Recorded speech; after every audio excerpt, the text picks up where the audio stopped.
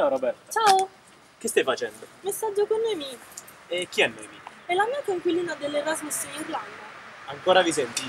Certo, in estate sarò ospite sua per 15 giorni. È un suo video. Winston Churchill nel 1946 dice Esiste un rimedio che in pochi anni renderebbe tutta l'Europa libera e felice. Dobbiamo costruire gli Stati Uniti d'Europa. Belgio, Francia, Repubblica Federale Tedesca, Italia, Lussemburgo e Paesi Bassi firmano a Roma i trattati istitutivi della Comunità Economica Europea. A Bruxelles viene firmato il trattato sulla fusione degli esecutivi. All'Unione Europea si aggiungono Danimarca, Irlanda e Regno Unito. Negli Stati membri si svolgono le prime elezioni del Parlamento europeo a suffragio universale. Con l'adesione della Grecia, gli Stati membri della Comunità Economica Europea diventano 10. Nel 1985 viene firmato il Trattato di Schengen. All'Unione Europea si aggiungono Portogallo e Spagna. 9 novembre 1989 cade il muro di Berlino. Nel 1992 viene firmato il Trattato di Maastricht. 1 novembre 1993 nasce l'Unione Europea. Nel 1995 all'Unione Europea si aggiungono Austria, Finlandia e Svezia.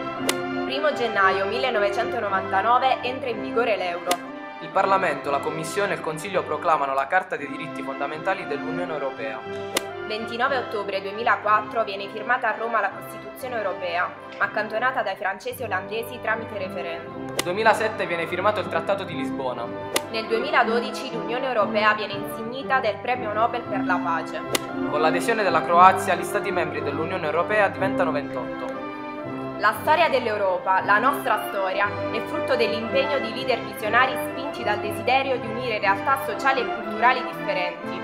La stessa storia ci insegna che le frontiere e l'individualismo nazionale portano alla chiusura emotiva e mentale, che già in passato provocò le grandi guerre. Dobbiamo essere uniti, aperti e rivolti al futuro. Dobbiamo continuare a percorrere la strada fin qui tracciata per raggiungere gli Stati Uniti d'Europa. Ma chi lo ha fatto? Ragazzi Erasmus. Mi chiede di farlo girare. Mandamelo, lo condivido sui social. Fatto.